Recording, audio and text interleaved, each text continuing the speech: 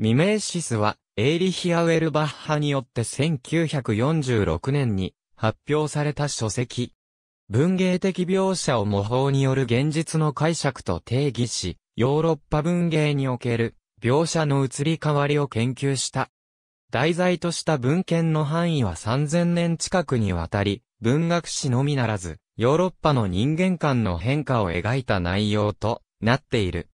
アウエルバッハがこの主題に関心を持ったきっかけとして、プラトンの国家におけるミメーシスの議論、及びダンテによる喜劇についての主張を挙げている。本書の大半は、著者がナチスの迫害によってイスタンブールへ逃れ、トルコ国立大学の教授だった時代に執筆されている。第二次世界大戦中に書かれたため、この著作がヨーロッパの歴史に愛情を持つ人々を再び結ぶ様子がとなることを願う一文もある。ドイツ語版は1946年にスイスのベルンで出版され、1949年にスペイン語訳が出版された際、セルバンテスについての章が追加された。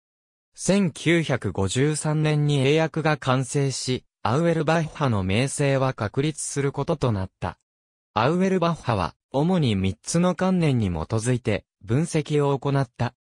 19世紀フランスのリアリズムが、古典古代から続いてきた文芸的描写の、様式水準の皇帝の常識から決別した。16から17世紀において、ロマン主義者とリアリストを隔てる壁が築かれた。この壁は、古典古代文芸の厳格な模倣を目指す人々によって築かれた。古典古代末期や中世のキリスト教的な作品の現実感は、近代のリアリズムとは全く異質である。これを比喩継承的と呼ぶ。古代の女実史文体として、ホメーロスのオデュッセイアと旧約聖書のイサクの反祭の二つを挙げて比較し、対照的な世界観を述べる。ホメーロスの文では、均一な証明、自由な発言、奥行きや発展のなさ、一義性などが見られ、旧約聖書は、光と影の対象、断続性、暗示や背景などを特徴とする。また、聖書は、世界の歴史をすべて神に結びつける必要があったため、後にパウロと恐怖たちは、旧約聖書の内容を、イエス・キリスト降臨を予告する比喩継承として解釈し直したとする。ローマ帝国の著作家として、ペトロニウスのサチュリコンにおけるトリマルキオの共演と、タキトゥスの年代記の総長体文体を取り上げ、近代のリアリズムの表現方法に近いと指摘する。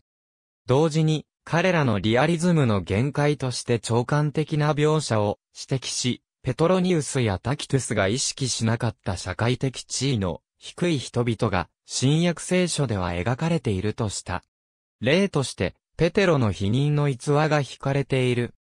ローマ帝国後期から崩壊期にあたるアンミアヌス・マルケリヌスやヒエロニムスなどの文体を取り上げ、彼らがタキトゥスよりもさらに長官的で硬直していると論じる。その一方で、アウグスティヌスの文章は古典的微文体と装飾法を用いつつも内心の葛藤を描いた優れた内容であるとした。ローマ帝国崩壊後の司教であるトゥールのグレゴリウスの著書、フランク人の歴史を読み、文語ラテン語の衰退を指摘する。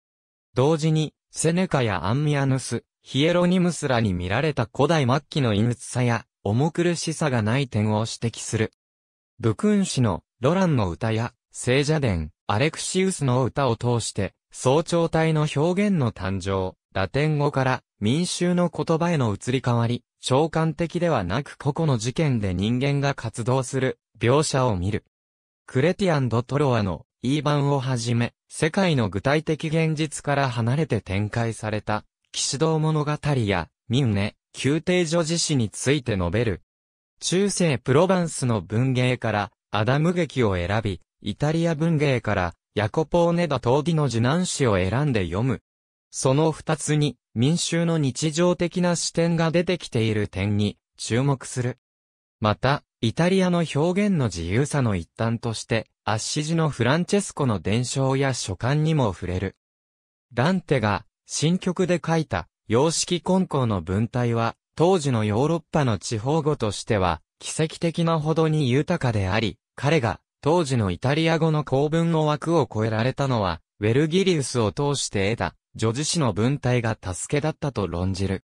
また、ダンテは、比喩継承によって、地上の出来事を彼岸へつなぎ、普遍的なキリスト教の世界観を形作ったとした。重要な登場人物であるエルギリウス、ウティカの加藤、ベアトリーチェについて、地上の彼らの姿は、彼岸での姿の比喩継承だとした。ボッカッチョのデカメロンの中央体が、イタリアの三分芸術の発生だとする。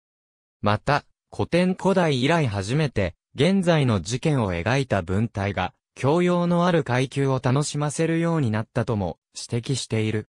キシアントワーヌ・ド・ラサールの著書、マダム・フレーヌの慰めや、結婚15の喜びを読み、イタリアの影響が及ぶ前のブルゴーニュのリアリズムを見る。ラブレーが、ガルガンチュアとパンタグリュエルで描いた中性的世界の素材の再解釈を主題とする。彼の文章は、本来の意図と機能を変更しているので、反キリスト教的に見えるが、そうではなく、要定は見方、感じ方、考え方が自由になった部分にあるとする。中性的リアリズムに対してラブレーは、生物的リアリズムを扱っており、彼は、中世の規範ではなくソクラテスを規範とした。モンテーニュのエッセイから、彼が初めて人間の生活、自分の生活を近代的な意味で問題にした人物であるとした。アウエルバッハは、彼の著述について、人間の自己定義という表現をしている。シェイクスピアの諸作品から、崇高さと低俗さの混合、悲劇と喜劇の混合という特色に注目する。キリスト教の干渉の枠が緩み始めた16世紀に、古典古代とは異なる形で悲劇と喜劇が演じられるようになったとする。セルバンテスのドンキホーテについて、ヨーロッパにおいて日常の現実を最も多層的に、無批判的に、無問題的に描いた作品だと評価した。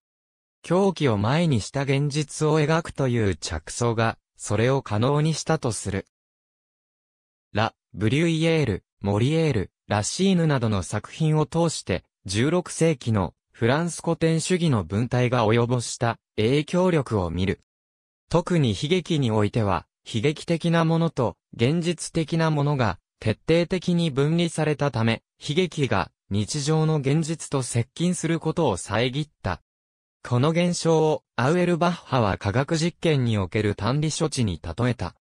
アベプレボのマノンレスコーとボルテールのカンディードの文体から18世紀以降のリアリズムと真面目さの接近を解く。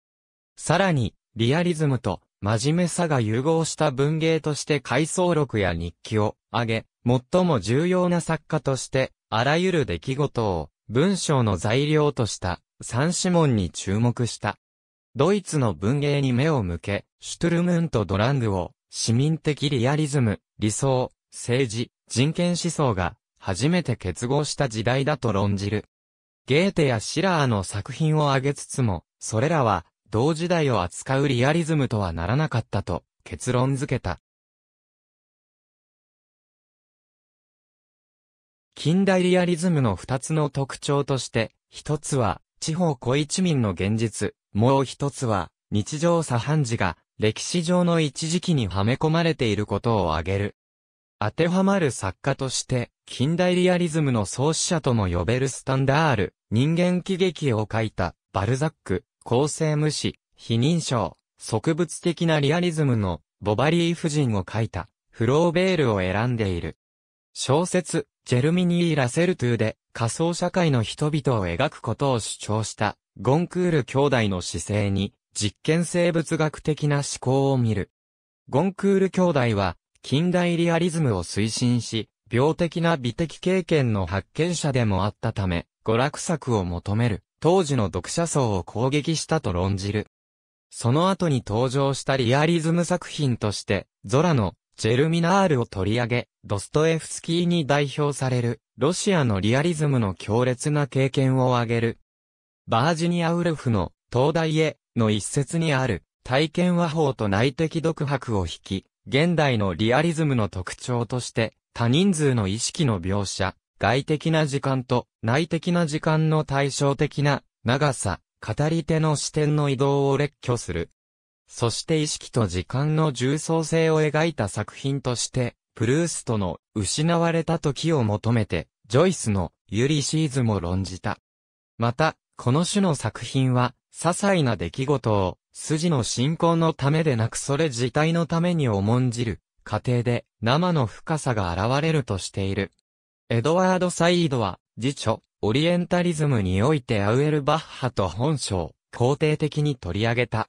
また、ミメーシスの2003年版で序文を書き、アウエルバッハの研究をビーコの伝統を受け継いだものとして評価した。ミメーシス後期315ページ。ありがとうございます。